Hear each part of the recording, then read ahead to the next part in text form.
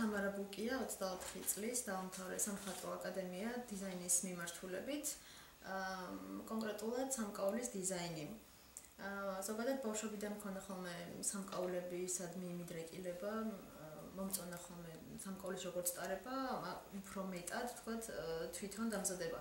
ძირითადად შემთხვევაში ვიყენებდი ხოლმე სხვადასხვა მასალას, ეს იქნებოდა ბისერები თუ ღილები, რაც ჩემთვის იმ მომენტში ადვილად ხელსაყრელი იქნებოდა. მუშაობ მინანქარზე, აგრეთვე ხეზე და ლითონზე. აკადემიის პერიოდში ღებულობდი ხოლმე მონაწილეობა სხვადასხვა სახის გამოფენებზე, ეს იყო აა თქვათ რაიმე კონკრეტული დღისადმი მიძღვნილი თუ ახალგაზრდა დიზაინერების ძიებისადმი მიძღვნილი. ჩემთვის თითოეული გამოფენა იყო მნიშვნელოვანი იმდენად, რამდენადაც იყო ძალიან პასუხისმგებლობა. აგრეთვე იყო მეტი სტიმული მომდევნოსთვის, მზადებისთვის. ნამუშევრები გაგზავნილი მქონდა ერევანში და აგრეთვე გაგზავნილი მქონდა ლიტვაში. და ერთ-ერთი რა ძალიან კარგად მახსენდება, აგრეთვე არის ის, რომ გამოფენილი იყო ჩემთვის ძალიან მნიშვნელოვანი როლი შეასრულა თბილისში, კერძოდ მომაში. ჩემ ერთ-ერთმა კანდაკებამ დაიმსახურა ის, რომ მოხვედრილიყო მანდ. ეხება სამომავლო გეგმებს ძალიან მინდა სწავლა გავაგრძელო უცხოეთში დიზაინის მიმართულებით, იმიტომ რომ ვფიქრობ, რომ საზღვარი საზღვარგარეთ მეტი შესაძლებლობა ვიდრე სამწუხაროდ ჩვენთან.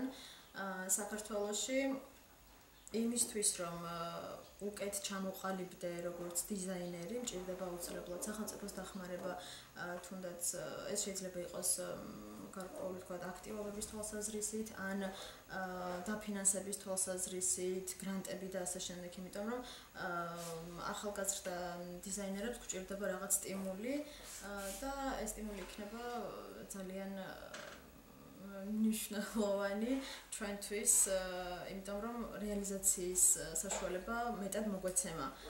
წლების შემდეგ ჩემი თავი უკვე წარმომიდგენია ესეთ შემდგარ არტისტად, ესე რომ ვთქვა და ჩამოყალიბებულ დიზაინერად. აა უკვე იმედოვნებ საზღვარგარეთ გასულ ქართულ ხელოვანად ხელოვანადაც, იმიტომ რომ ძალიან მნიშვნელოვანია ჩემთვის საკუთარი ნამუშევრები გავაცნო არა მარტო საკუთარ ქალაქს და საკუთარ ქვეყანას, აგრეთვე გავიტანო ფარგლებს გარეთაც, თუნდაც იმის წარმოსაჩენად, რა შეგვიძლია ჩვენ აქ. აჰა და ვფიქრობ, რომ ეს იქნება ძალიან დიდი სტიმული სხვებისთვისაც, იმიტომ რომ მოცავგებულობ, ანუ პირადად ჩემთვის არის ძალიან დიდი სტიმული, როცა ვგებულობ, რომ აი ვიღაც უნდა ჩემო მეგობარმა ან ჩემო ნაცრობმა ეს შეძლო, ეს არის თითქოს რაღაც ბიძგი იმისთვის, რომ აი შენც შეგიძლია კი არა და შენც უნდა შეძლო, იმიტომ რომ ეს არის სასიცოცხლოდ მნიშვნელოვანი.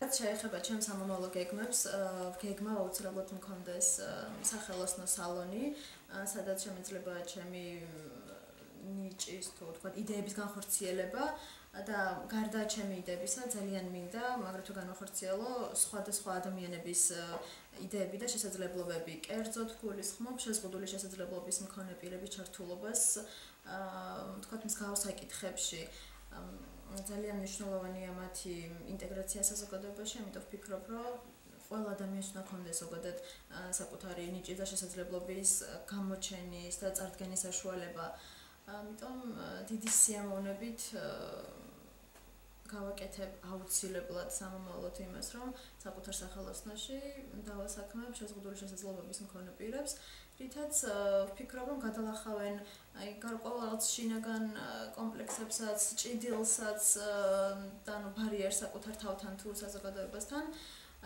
ეკნებათ თავიანთი შემოსავალიც და ზუსტად ისევე იგრძნობენ თავს, როგორც უნდა გრძნობდნენ, ანუ როგორც თქვა, ჩამოყალიბებული პიროვნებები, სრულფასოვანი პიროვნებები.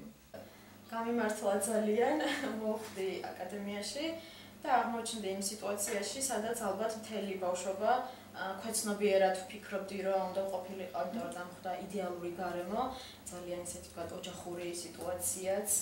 აა ყველანაირად ხელი მეწყობოდა იდეების განვითარებაში, ნუ თავიდან მოკლედ იდეების დაბადებიდან დაწყებული განვითარების ანუ აი ამ ეტაპებში. ამიტომ ვთქვი, რომ ძალიან ისეთი კარგი სკოლა მაქვს გავლილი, ანუ აკადემიის სახით.